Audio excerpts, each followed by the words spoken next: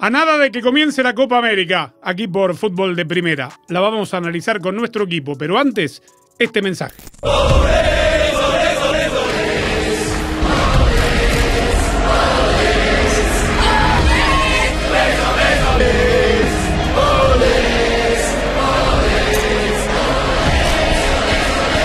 Bueno, ha llegado la hora, la verdad. Arranca la Copa América por fútbol de primera. Estamos junto a Sami Sadovnik, Daniel Chapela, Argentina frente a Canadá. Sami Sadovnik con el escudo de campeón defensor. El equipo de Scaloni, el campeón del mundo, abre contra esta selección canadiense en un grupo que también tiene Perú y Chile. Digo, favorito si los hay, es el equipo Celeste. Para llegar a la final, sin lugar a dudas, Andrés, en eh, esta copa que tiene también eh, algunos otros protagonistas que pueden, digamos, encaramarse en las rondas e instancias finales. Eh, a mí me apetece mucho lo que puede hacer la selección uruguaya, Marcelo Bielsa, que ha tenido una magnífica eliminatoria. la selección Colombia, invicta con Néstor Lorenzo. Y habrá que ver a Brasil, ¿no? Que ha dejado serias dudas que comienza un proceso con Dorival Jr., pero que siempre está, evidentemente, en estas instancias. No se le fuera mano, serias dudas, dice que dejó Brasil, Daniel. A mí no, me, pareció, ¿eh?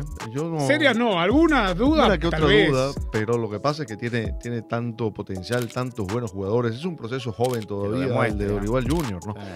De, todas maneras, para mí Argentina es el principal candidato, porque es el campeón del mundo y demás, pero es que juega muy bien Argentina y cada vez juega mejor. Después del Mundial, eh, el, el equipo lo que ha hecho es crecer y eso es difícil. Yo creo que tiene mucho que ver con la manera en que Scaloni lo maneja. A través de lo que hemos hablado en el programa de fútbol de primera, creo que todos coincidimos que estos cuatro, Argentina, Uruguay, Brasil, Colombia, póngalos en el orden que usted prefiera, son los grandes candidatos a ser campeón. Pero hablemos un poco de México, porque también así como hemos vaticinado que estos cuatro podrían pelear hasta el final, aquí hay algunos que piensan que México por ahí no pasa la fase de grupos. ¿Tan es así, Daniel? Por la manera en que llega, por todas las dudas que hay alrededor, por las decisiones que ha tomado el entrenador, porque dejó gente fuera muy importante eh, a México no le sobra mucho y que no tenga a Chucky Lozano, por ejemplo, o a Henry Martín eh, es dar ventaja respecto a, los rivales que sí van a, pelear con todo lo que tienen. Eh, y, ese es el gran signo de interrogación que hay detrás: funcionamiento y,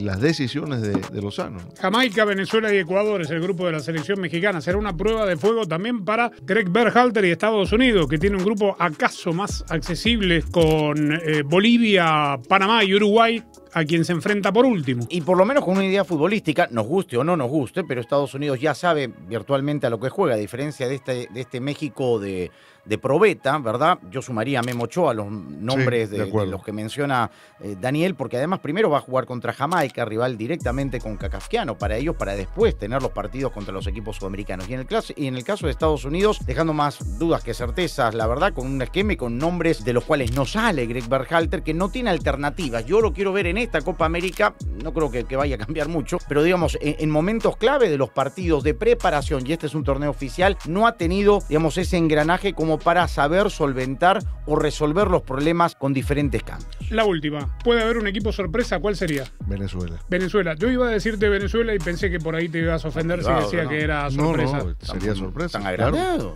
Sorpresa, bueno, pero. Muy agrandados. Sí, sí, está bien.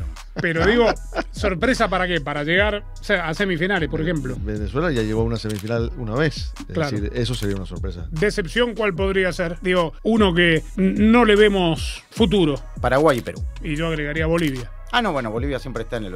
Y yo como sorpresa la pongo a Chile. ¿eh? Yo añado decepción Estados Unidos. Decepción Estados Unidos. Eh, vamos a ver si Bolivia puede romper la racha. ¿Ha ganado Sago, su nuevo técnico? Eh, a Perú. Ah, mire. Bueno. Ahí está la decepción. Bueno. Leis y el fútbol van juntos como Lionel Messi y el fútbol. Dirígete a snacks.com para conseguir una bolsa de papas fritas. Leis hoy mismo. La Copa América se vive por fútbol de primera.